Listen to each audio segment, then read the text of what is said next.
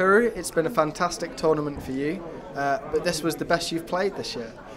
えっと、みぐるさん、素晴らしい大会でした。えっと、今までで一番上手なダーツでしたか？そうですね今大会では一番よく入ったんじゃないかなって思います今年ではどうでしたか？今年でもまあいいいダーツです一番 Yes, uh, uh, for this tournament, it was my best darts, and I think also for this year, it was my best darts that I played. Uh, and the fans absolutely love you. To see them all going along with, with Baby Shark was amazing.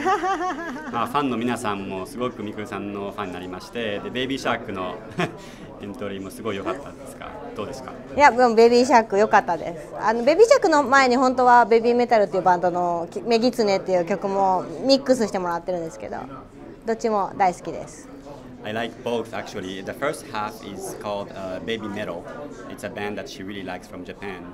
And uh, but yes, obviously, uh, Baby Shark is also a very very good selection. I think. and the, the 148 checkout we saw was one of the best checkouts under pressure we've seen in the tournament. So, what's your reaction to that? えっと148のチェックアウトはきっとまあ素晴らしいこのそう大会でもしかしたらだ女子では一番いいチェックアウトかもわかんないですけど、 えっとしかもプレッシャーかかってる中でのチェックアウトまあ一番本当にこの大会では自分の中のはベストハイハイオフなんですけどもっと170とか出したかったですけど Yes, uh, of course, in this tournament it was my best uh, checkout, but uh, next time I want to go for the 170 checkout. Uh, and we know there's an eye on the back of your shirt. Just tell us what the meaning of that is.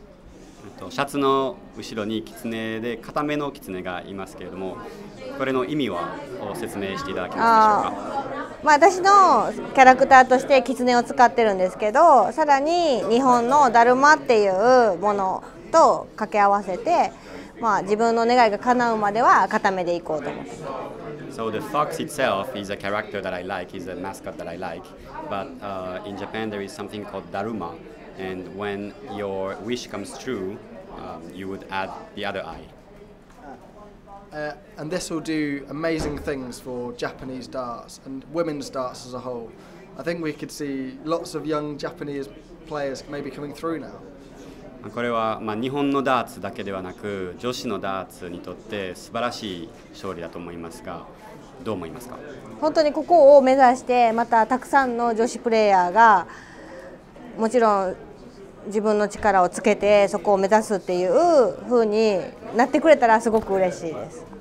It would be uh, really awesome if my uh, if because of this a lot of uh, players start practicing more and starts playing more uh, in order to be able to come to the video world championship. Thank you very much. Thank you very much.